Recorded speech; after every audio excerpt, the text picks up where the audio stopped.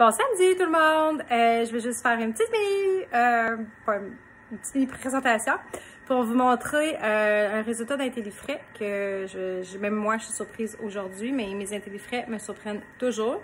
J'ai acheté des courgettes il y a trois semaines de ça, en me disant je vais faire des biscuits avec les courgettes.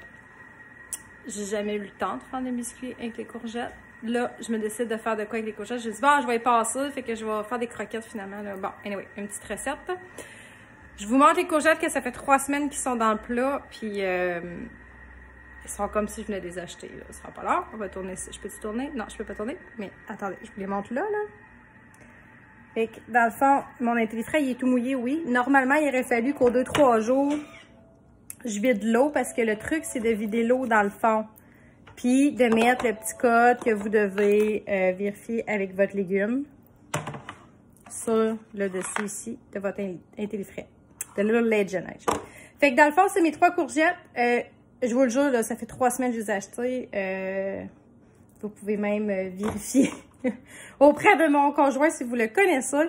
Mais ils sont très durs, très fraîches, parfaites, comme si je venais de les acheter.